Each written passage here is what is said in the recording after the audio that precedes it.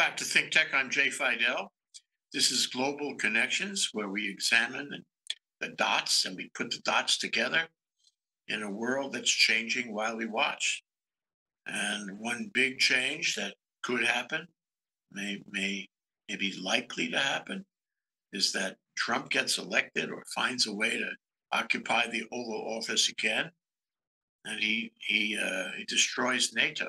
He's made that very clear that he will do that if he gets a chance and elevate Russia so they can do, quote, what the hell they want, end quote. This is actually just another important reason not to vote for him. We can't afford that. But let's look at it as a sort of a, a political experiment, a geopolitical experiment. What happens without NATO? We've been examining what happens if Trump is elected, how our world will change. This is a very scary story. But let's let's do the Emile Zola-esque kind of you know political experiment and ask what happens without NATO. So for this discussion, we have Dr. Roopmati Khandekar.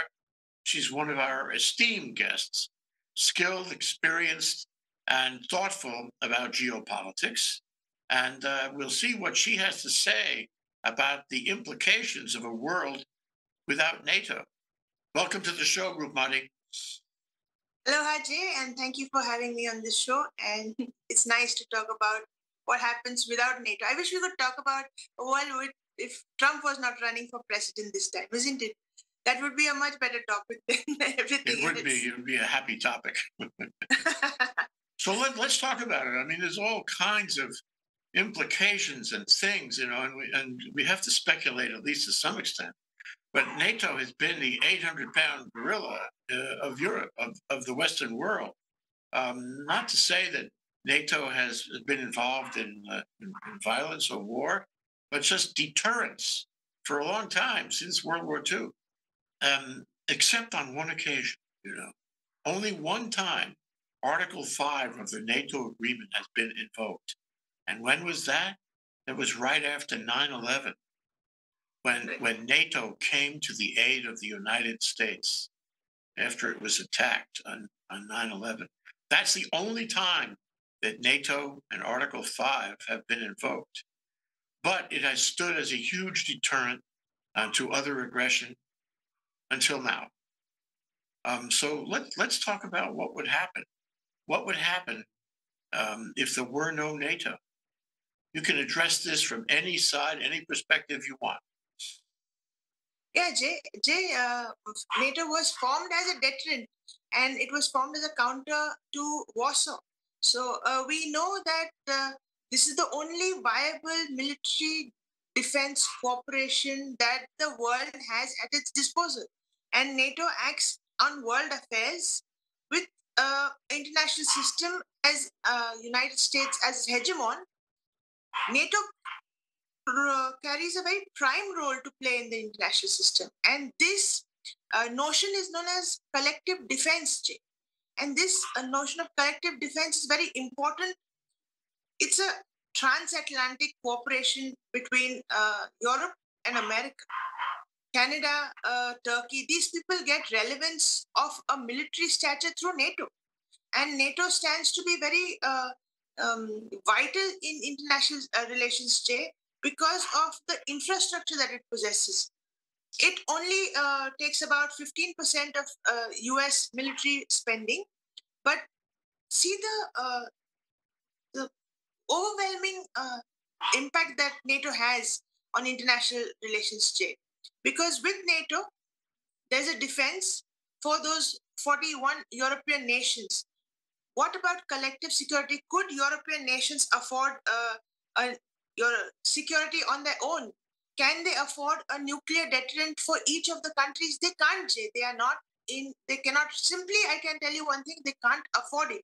And America, through NATO, provides Europe that security umbrella that uh, it gets. And biggest, biggest deterrent and biggest, biggest uh, bear in the room is uh, Russia, Jay. NATO is a, a shield for European nations against Russia. Ukraine, the whole issue of Ukraine trying to get into NATO and Russia opposing it, the the rush to get inside NATO's uh, protective umbrella is because of the uh, response that NATO gives to crisis abroad. And their uh, implementation of military strength does not require, uh, you know, the infrastructure bureaucratic uh, uh, impediments like the UN.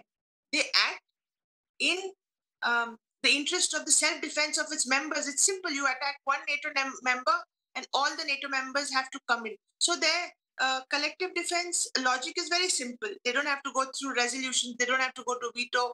No, nothing. So this kind of quick action is only available to the world or say privileged NATO members only through this infrastructure. So they simply can't afford to give it up. And uh, mm, the European nations, Jay, besides not affording it, uh, they would they would have a dis-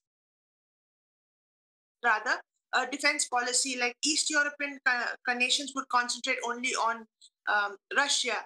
West European nations would concentrate on the transatlantic. Uh, they would not have this comprehensive uh, defense strategy. So that is why NATO plays a very important role in foreign policy also, when all the nations come together and frame their policies. Well, you know, it's already weakened, isn't it? I mean, for example, uh, the North Atlantic Treaty Organization, and it was only half a dozen countries at the beginning, but over time they all wanted to, to have the benefit of that mutual defense, and a lot of countries came in, and you think mm, maybe maybe that wasn't so great that they came in because they pull the other way. And I'm thinking uh, specifically of Turkey, which I don't think is a good member of NATO. I'm thinking of Hungary, an autocracy, which is I don't think is a good member of NATO. They'll pull the other way. So even now, and especially with Trump's remarks, and especially with Trump's remarks on how he would give away Ukraine and let Russia do quote what the hell it wants end quote on day one of of his uh, administration. Um, you know, I'm not sure that NATO is what we had thought it was all of these years gone by. It has weak members or members who are not loyal as we would wish. Um, we have uh, people who don't, countries that don't pay their freight, although most of them do. Trump lied about that. Most of them do pay the freight.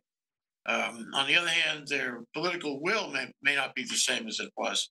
You know, three weeks ago, a month ago, uh, Olaf Scholz and uh, Jan, what's his name, uh, Stoltenberg um, in NATO and the EU uh, said that they were going to get $60 billion, 50, $52 billion together to support Ukraine. I'm, I'm waiting. I'm waiting for that to happen. Hasn't happened.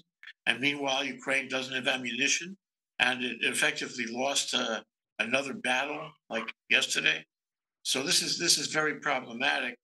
Uh, already, uh, Trump's comments are having an effect on the resolve of NATO, on the deterrent effect of NATO and on uh, Putin's Putin's approach. Putin is is uh, taking advantage. So, gee whiz, um, it would get worse, wouldn't it? What would what would Russia do if there were no NATO? See, um, right now we we are uh, in a hegemonic system that is one leader at the helm of the ship. But all critics, all uh, all uh, uh uh, vocals of the international system say that we are moving towards a multipolar world. And multipolar world means, you know, China and Russia cannot compete with the US. But together they are trying to come together. Together they're trying to come across as a viable option collectively against the United States. And when they come together, they're trying to get through NATO. The diminishing of the rel- uh, reliability and relevance of the NATO plays a big factor in pushing China and Russia at the top, Jay. To bring them to the top two players is, uh, you know, giving a seesaw balance to the power of the U.S. And this, uh, um, uh, you know, when they operate, there's a regionalization of security rather than an internationalization of power. You know, uh, of uh, power politics. There is a kind of, uh, you know, you'll have allies slipping away, and the U.S. actually has does not have burden sharing allies. Does not really does uh, U.S. bears the uh, burden of most of the costs of most of the security sharing uh, arrangements, of the trade sharing arrangements, the US takes the lead. And uh, NATO is one such uh, institution where you provide military support. So that kind of is a very big factor, Jay, in um, stamping US uh, uh, authority in the international system. And when you undermine this, you're going to give Russia and um, China the chance to come up with alternative viables and for them to they do they do get scared the deterrent is true when you uh, when ukraine happened you know uh, they were they were careful to say no nothing of nato is coming in. The countries are uh, supporting on their own. If nato had come in it would have been a full onslaught of warsaw versus uh, nato. But that is the kind of uh, importance that nato holds. So this when you say that uh, NATO is coming in to help, that means they're going to deter Russia completely. And that kind of, we don't have any alternative to NATO. If there was any alternative to NATO and then we're talking of giving up NATO, it was a different thing. But without having any alternative, you're giving up a military structure. And that is a problem. I think, I think um, Putin would be more aggressive um, and uh, he would he would take greater advantage of Ukraine the moment he was sure that NATO was no longer in place. Uh, he would try to take more territory. Uh, he would try to take, you know, uh, it depends on the circumstances. He might try to take all of Ukraine, all of it. Um, this and the, really uh, one of the, as you said, one of the big deterrent features is NATO. Big feature and and if he if he was not blocked by NATO or the deterrent effect of NATO, um, he, he might take try to take the whole Ukraine. And if no if no support was coming from the U.S. and if NATO wasn't supporting them because it didn't exist, and the EU decided it was more mm, to their advantage not to do anything, uh, then what we would have is uh, is peaceman. I mean appeasement out of, out of Munich in 1939, it would be right the end of the West, so to speak, as as a hegemonic force. So yes. that's very a great concern about Putin because he would see this as a big opportunity, and all his predatory instincts, predatory instincts, uh, would come into play, and he he would be attacking weakness, weakness across the board, and that means weakness uh, as far as Poland is concerned, uh, which is a member of NATO, um, weakness as far as the Baltics are concerned, uh, weakness as far as Scandinavia is concerned, Finland, Sweden, weakness as far as the Balkans are concerned. That whole border would start moving, would be at risk. Uh, he's already pushed um, those countries, not by kinetic war, but by high, uh, by cyber war and by insidious undermining of the government there um, through um, crowds and protests that work working for him, paid protesters. I know he's done that in Romania. So you know what's happened here is that he's already moving. This would let him move much faster. And I think for this discussion, if, we are assuming that NATO isn't there, we're also assuming that the U.S. isn't there. Yes. You know, right now, we're nine months going on eight months away, and Congress is locked up, not going to do anything. There's no money um, for for the Ukraine, um, and Bush, if uh, if uh, Trump gets into office, there'll be no money for NATO or the EU would be in isolation. One of the things you mentioned as we were preparing for this is is that the nature of borders would change, the nature of togetherness in Europe, uh, of a union, um, of working together would change. And how would that how would that work? If if we if we say that uh, there is no NATO, how would it change the relationships at the borders among all, all the EU com- countries?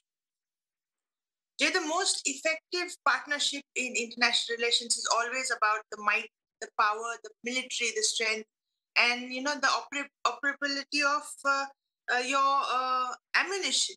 So this kind of transatlantic partnership, which is uh, spanning military operation operability, is because of uh, uh, NATO. And when you have that missing, and you lose the link, don't tell me markets are going to unite the countries the way military does.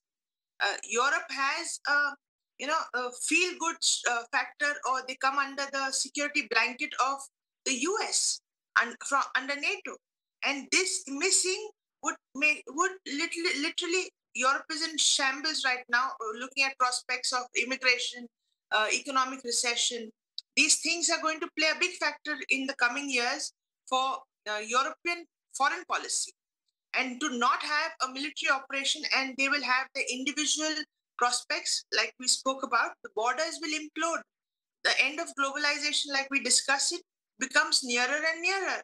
And they do not have international uh, you know if uh, america talks about markets the factor that they do help militarily plays a very big role jay in uh, uh considering all interactions and if that was not an operation and you have to just consider uh, market uh, costs and you know um, assets that would have that would be a totally different ball game so this way, when you uh, undermine NATO's credibility, you, you, you leave aside these factors also, the impact that military plays on these other factors of keeping globalization alive. This is the only uh, legitimacy that NATO gives to the countries to operate. You mentioned that there'd be a certain amount of fragmentation among yes. uh, the, the, countries of Western Europe and, for that matter, the, the Baltics and the Balkans as well, Scandinavia. And they wouldn't necessarily go in the same direction. You know, one, one logical possibility is that if there were no NATO, uh, the members of the EU would create an alternative NATO. They would say, "Let's we're going to pool our resources. We're going to come together. Uh, you know, we're we're going to meet uh, in Strasbourg or somewhere, um, and and we are we are going to make a mutual defense uh, arrangement that replaces NATO. Uh, what do you think the possibilities are of that uh, versus the other possibility is they would all be fragmented, all be weak, and some of them would seek special deals with Putin just to stay on no. his right side. What, what, what's going to happen in terms of the solidarity of the former members of NATO and the EU? Ah, the second option seems more practical, Jay, because the first option they can't. Europe can't afford a security blanket over it at all. The 41 countries don't have the military spending that NATO does, and uh, I'll tell you, uh, NATO gives this operational military advantage. Anything happens under the uh, banner of the NATO, Europe can play politics. Now you tell me which individual European country has a standing in international politics to voice or to implement an opinion? So, uh, this kind of uh, blanket uh, operationality is not possible for European countries. It's only because of uh, the courtesy of the US that this is possible. The United States is such a vital player in international relations, and you know you have critics, you have posts which undermine this situation day in and day out. Tell me a world where you don't have uh, uh, European, uh, American decision making, and then you let me know what would be the state of affairs. There's a monitoring going on. There is a supervision on. Putin would be on a mad run if there was no uh, fear of NATO coming in at any moment of time.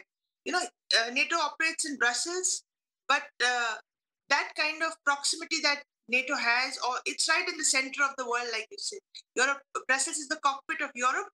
So, uh, America having a vantage point in Europe is a big factor for American politics. But it's a much, uh, much bigger, big, big, much bigger incentive for European countries to have a military shield from America. And Jay, more uh, of interest to European partners than to America. Isn't yeah, let, us let's talk about the U.S. for a minute. You mentioned uh, let's assume no NATO. Let's assume this uh, fragmentation of Europe, uh, isolationism, you know, begins to prevail, um, and we'll talk about autocracy in a minute. Um, what happens in, in the U.S.? Uh, you know, one thing is, I tell you, I would be very unhappy. I know you would be very unhappy. I, I, you know, I, well, what can I do? What can we do? What can the you know Democratic Party do if the Republicans continue to block aid to Ukraine and allow uh, a guy like Trump to to pull the plug on NATO and effectively also on the EU? Uh, what happens here in this country? What's the echo effect? They, uh, when or if and why Trump should come to power, we will have some funding shut for big important issues like we had last time climate change, UN funding, everything was just abruptly cut. And he promises to uh, cut off Ukrainian uh, war funding. And that becomes a big, big issue because not only then Russia comes to close proximity to Europe, they do get a more challenging voice to uh, now because of their supplying oil and gas. You know, mm, such a big effect point. Ukraine war had, such a yeah. big effect. Hundred billion dollars flew into, uh, flowed into the Iranian economy. They were in shatters, they were shambles, and then they funded Israel war. This kind of implications that uh, uh, the cascading effects that every decision has you know you'll have putin you know jumping on the doorsteps of europe and dictating terms of the oil and gas you'll have uh, so many other things and america can't play house inside its borders it is a global leader so that kind of foreign policy domination has to be sustained because you can't have the dragon or russia at uh, the helm of international politics because like it or not US has always played a, a benevolent role rather than a selfish role. But be assured, China or Russia, as head of the international system, would never play such a role of uh, having a kind of balanced. Uh, they, they are very, very, like we talk about, selfish, and they only talk about their motives and their. Uh, they they are more interested in um, self propaganda, like the Communist Party itself just talks about itself in China. The same way they would do in international politics. It's just about me, myself, and I. And the US, besides thinking of me, myself, and I, would also think about a small country.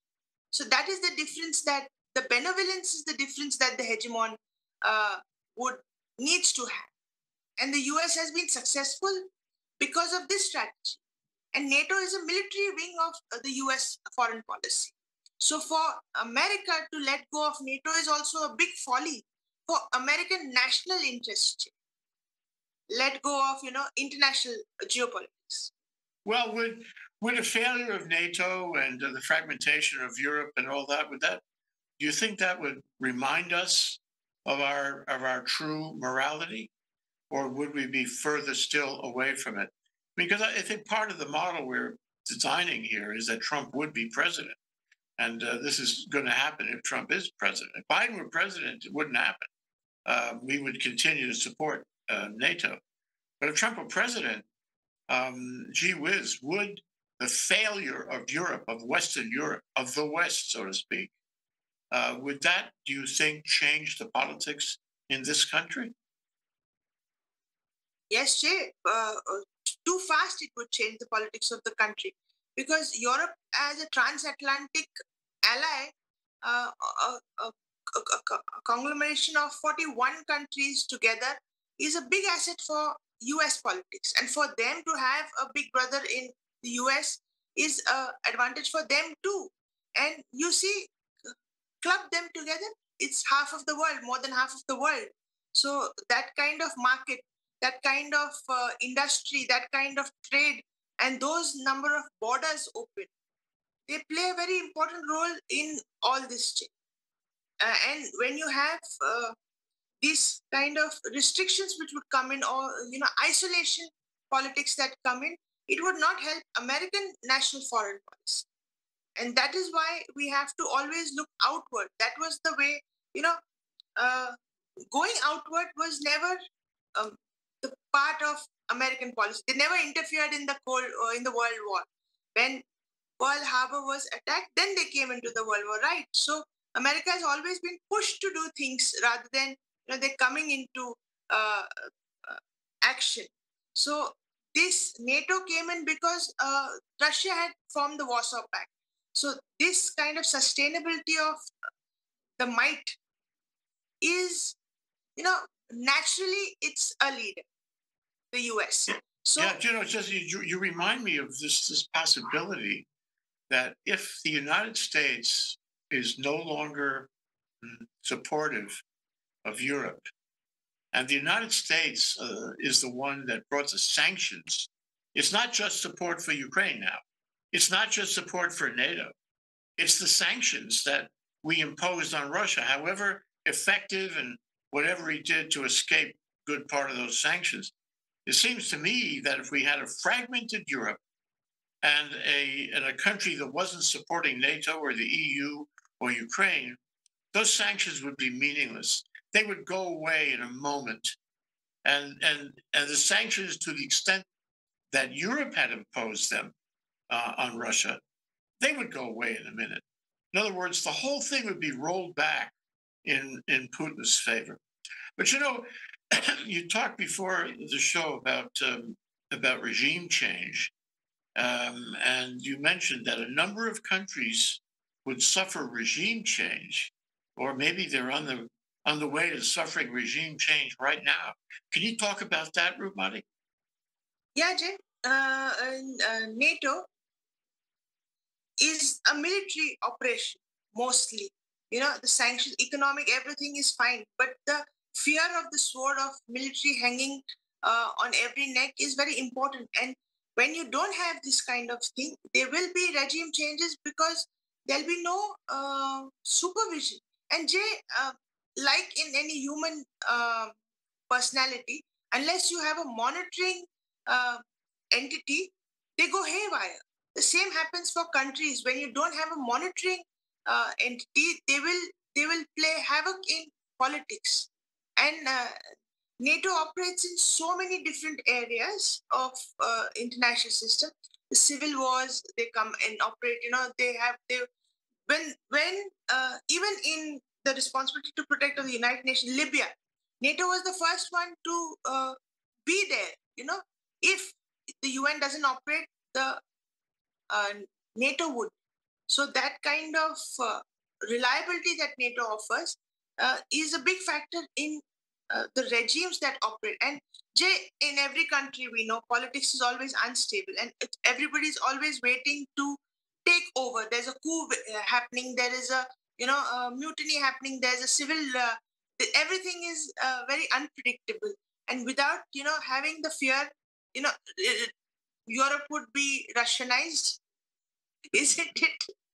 So that kind of uh, domination that we see, the entire regime could change. Finland, Sweden, they would have a hard time in keeping their borders.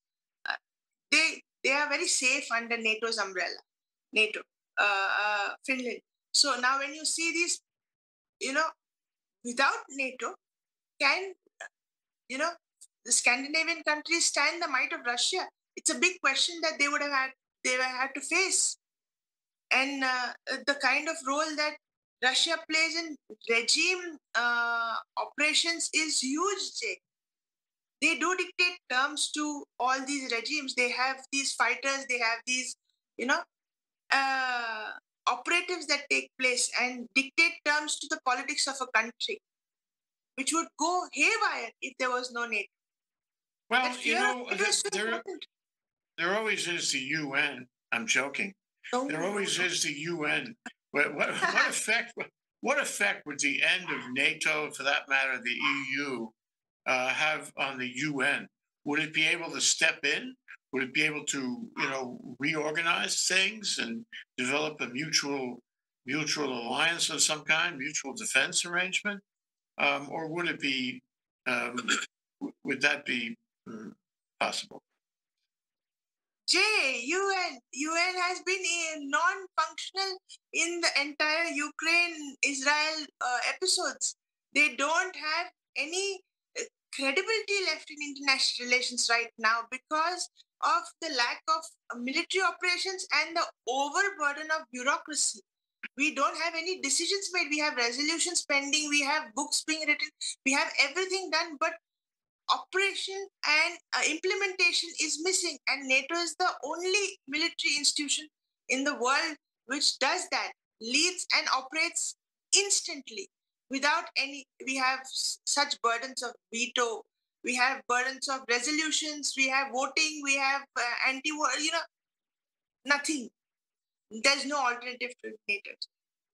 You know, the Western Alliance has, has, has come together behind the U.S.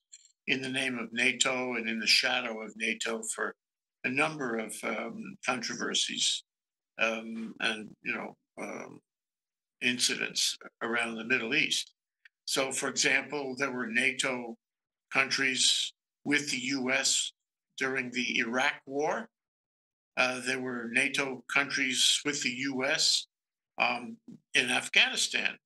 There were NATO countries, there are NATO countries now, maybe it's limited to the UK and maybe France. Uh, there are NATO countries now in the Red Sea are trying to deal with the uh, impediments to shipping uh, by the attacks by the uh, uh, by the Houthi. So um, I guess they would they would all go away. Um, would they would they go away? Would we still see support um, for American presence, the American presence in the Middle East. Um, I think we have to look at the Middle East separately. It's much more complex in a way. Um, what would happen to our friends and partners in NATO uh, when NATO was gone? Yeah, Jay, uh, NATO, uh, you know, the importance of NATO would be felt in all these uh, points, like Europe, the Middle East, and East Asia, where you have China and uh, all coming in. Individually, if America goes to forge partnerships, it's fine. It does all that all the time. But that collective response, which happens at the blink of an eye, would be missing. That's the only thing that would be missing. That if we had to get into any military operative. There is no existing structure that would be present to just uh, uh, get into implementation. They would have had to again have to be bilaterals, multilaterals, and then get into an agreement. Here it is uh, that simple notion that I told you. If anybody attacks a NATO member, all NATO uh, nations are obligated to come together and to support this collective security that that uh, there is. And um, more than a setback for the US, it would be a huge, huge setback for Europe and a big uh, boost for Russia and a celebrating point for China. So, mm. this kind of uh, comprehensive impact that the end of NATO would have is uh, overwhelming because it would change geopolitics uh, in a very hard way. Well, let me let me ask about um, you know the the elephant in the room as far as the Mid East is concerned, uh, is is the war between Israel and Hamas, and um, you know Israel is making its way down to um, you know the south of of uh, Gaza, um, but at, at, a, at, a, cost of propaganda, because the um, Hamas has been very effective at uh, convincing the world that Israel is the aggressor, um, and so we have a war that may not end right away we have a war where a lot of a lot of countries have spoken and are still speaking in the International Court of Justice uh, and in in the media. Um, and uh, it's, it's, very hard on Israel because uh, have hundreds of thousands of young people in the service and away from the economy. Well, people don't realize that the traumatic effect of all of that on Israel's economy. And all with the backdrop is that if Israel doesn't solve this problem, it's going to get worse. There'll be more attacks, more atrocities, and so forth. And the drumbeat for a two-state solution is, uh, you know, it's. Um, I don't know if that helps or will help. But my question to you is, um, although um, Israel is not a member of NATO, and uh, although Hamas is not not a state, and the Palestinians are not a state. Um, the fact is that it's on it's on the front page every day, all of this. And if there were no NATO, if there were no defense alliance among the Western countries, how would that affect this ongoing war uh, between Israel and Hamas? Jay, uh, Israel and Hamas was an episode where you saw very strong American uh, foreign policy and the uh, the power with which they come to help their allies, the strong bond that America shares with allies, and the advantage to have America as an ally was, you know, evident in this war.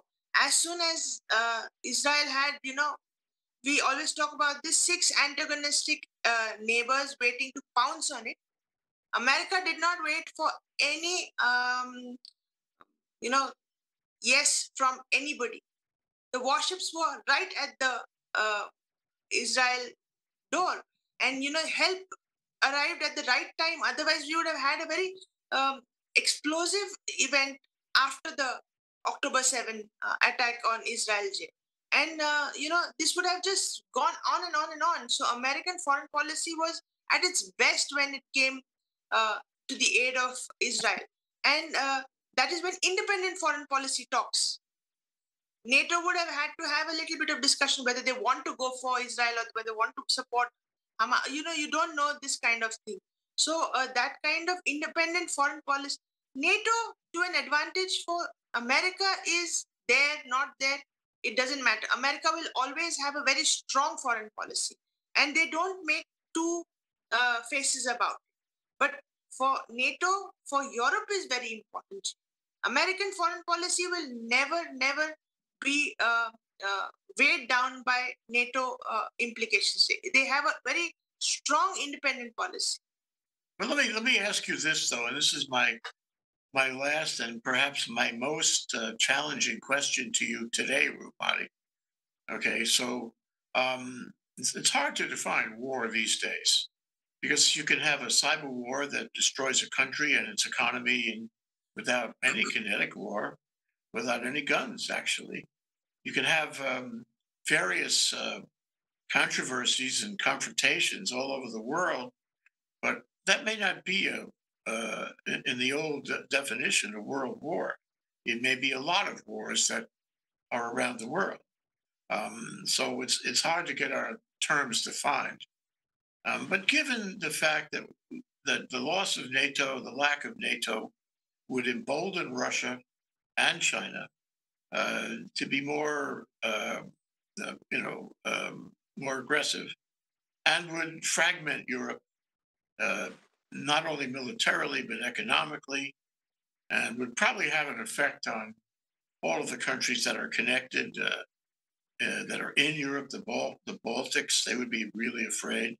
The Balkans, um, and for that matter, um, uh, Africa, and and the likelihood is that, that the Mid East would somehow become even more of a hotbed for the yes. lack of NATO.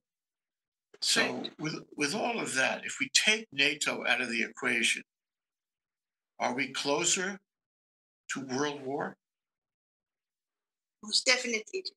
Most definitely. And even optimistically speaking, yes, Jay. Because that would give a free hand to the holder of the biggest arsenal in uh, of nuclear weapons. Russia, Russia is on a rampage right now with no reigning in power. They are literally doing what they want, and uh, a nuclear war would um, erupt between you know a small trigger would give rise to this because Putin, when right now he's in a comfortable position, he thinks he's doing good. But just imagine if he was in a compromising situation. He is not that kind of a person who would surrender. If he was going down, he would go down with the whole world with him. And he would you know he would not let it would not be like hitler in a bunker. It would be putin with the world himself and taking everybody with him. He would just go on a nuclear rampage. And uh, ukraine would be the first one to hit.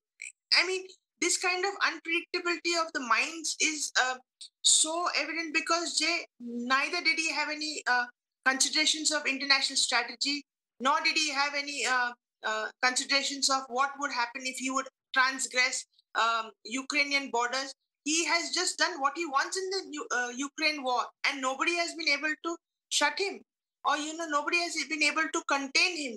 And as he moves on day by day, he gets more powerful. And the author, uh, you know, the legitimacy that he derives, he's declared as a war criminal. He goes for diplomatic visits to countries which do not have him as a war criminal. So that kind of maneuvering that he's and the comfortable level that he's reached in international politics today is uh, very fine, Jay, because after attacking a country, you are still getting that kind of legitimacy and those kind of welcomes uh, and that kind of support from your allies all over the world. Uh, well, they want your oil and gas. they want your oil and gas. They want to make deals with you, and and they come at this from a point of um, dismissing the United States oh. and uh, dismissing Europe and the West. So yes. it, it, it's it's fertile ground for for him. The other yes. the other point that comes out of what you're saying is that autocrats don't care, just as you said, Roopmati. Autocrats don't care about about humanity. They don't care to be humane. They care about themselves and their own power. And uh, you know that, that that's also a definition of uh, of Trump. Um, so if if if if the idea of an autocrat cares only about his own power and who, um, you know, has nuclear uh, weapons and the button handy, uh, then Trump is as much a risk as Putin. And you know, the, the idea of Trump with with um, the magic suitcase and the buttons on the nuclear weapons is really, really, really scary uh, because he is an autocrat uh, in every way. Well, here we are, uh, hoping that none of this will happen. But thank you for joining me in this uh, this inquiry into what would happen if we uh, uh take out um, uh, NATO. It's like having your teeth removed, and, and you have you have to deal with a, a predatory monster without any teeth. That's what it's about the, the word that comes to my mind is yeah, I'd heard this word a long time before megalomaniac. So we'll be having two megalomaniacs in the world soon.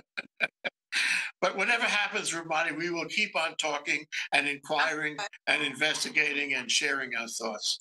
Thank you so much. Thank you for having me, Jay. Aloha. Aloha.